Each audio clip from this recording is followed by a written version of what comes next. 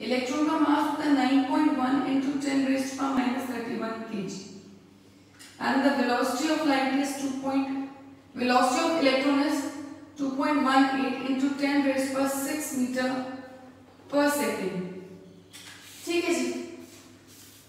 अब उसने ये बोला कि ये जो इलेक्ट्रॉन है, जिसका मास इतना है it is moving with this velocity ठीक है it is having particle nature but उसने बोला कि कोई चीज़ की अगर पार्टिकल नेचर है और इतनी वेलोसिटी से मूव कर रही है तो it must be having some wave nature तो इसके भी नेचर हो सकती है।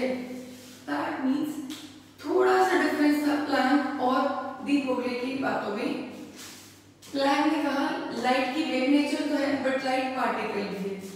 इसने क्या बोला इलेक्ट्रॉन पार्टिकल तो है बट इलेक्ट्रॉन वेव भी है। प्लैंक ने क्या बोला? लाइट वेव तो है बट लाइट पार्टिकल भी है। और डी ब्रोगली ने क्या बोला? इलेक्ट्रॉन पार्टिकल तो है but it is a wave also ये क्या है? वेव भी है। अब देखिए। यहाँ से जी कोल ने अपना एक रिलेशन दिया, उसने क्या बोला? देखिए, क्या है इसकी derivation Planck theory according according to Planck theory energy of electron proton जो भी है, h is equals to h nu that means h into frequency, which is equals to hc upon lambda, which is equals to hc upon lambda. ये बात हमने पढ़ी हुई this according to Planck quantum theory हाँ जी Einstein mass energy relationship की बात करें। आइंस्टाइन का मास एनर्जी रिलेशनशिप कह रहे हैं energy of photon is E is equals to mc square. This becomes your second equation. ठीक है जी? क्या बोला? प्लान क्वांटम थ्योरी के according energy is equal to hc upon lambda और आइंस्टाइन मास एनर्जी रिलेशनशिप के अकॉर्डिंग जो energy of है that is equal to mc square. अब that means from equation 1 and 2 अगर फ़र्स्ट और सेकंड इक्वेशन को relate करें तो C upon lambda is equal to M C square एक सी से एक सी कैंसिल हो गया। H upon lambda is equal to M C H upon lambda किसके इक्वल हो गया? एम अब देखिए, therefore is equal to H upon M C C क्या है यहाँ पे? वेलोसिटी इसकी जगह? तो लाइट की बात हो रही किसी और पार्टिकल की बात हो तो एम वी हो जाएगा। वेलोसिटी तो लाइट की वेलोसिटी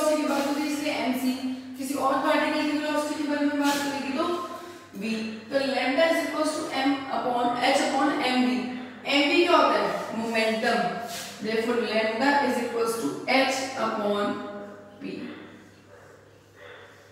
देखिए ये रिलेशन हमने क्यों निकाला और हमने कैसे रिलेट किया? जैसे कि आपको जी ब्रोगली ने कहा था कि जो इलेक्ट्रॉन है, उसकी पार्टिकल नेचर तो है बट उसकी वेव नेचर भी है। जो इलेक्ट्रॉन है, उसकी पार्टिकल नेचर तो है बट उसकी वेव नेचर भी है तो वो चीज़ उसने कैसे आइडेंटिफाई पार्टिकल नेचर को कैसे आइडेंटिफाई किया था कि देखिए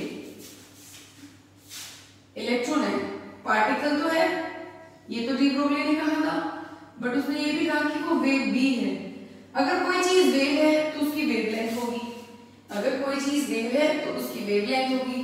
और अगर कोई चीज़ पार्टिकल है, उसका मास m है, और it is moving with velocity v जो भी है। ठीक है जी? तो दैट मींस कोई चीज़ पार्टिकल है it is having mass it is moving with velocity v और कोई चीज़ वेव है तो उसकी एक वेवलेंथ होगी दैट इज़ लैम्डा तो वहाँ से हमने रिलेट किया। ठीक है जी? तो this was the de Broglie relation और ये रिलेशन आपको क्या कहता है? कि जो वेवलेंथ है that is inversely proportional to momentum p is what momentum which is equals to mv ये रिलेशन आपको क्या कहता है? कि जो वेवलेंथ है that is inversely proportional to momentum अब देखिए, ये जो रिलेशन है, यहाँ से ये चीज़ निकल है डी ब्रोगली के अकॉर्डिंग कि जितने भी मूविंग पार्टिकल्स हैं, जितने भी मूविंग पार्टिकल है इलेक्ट्रॉन है इलेक्ट्रॉन का मास आपका कितना है?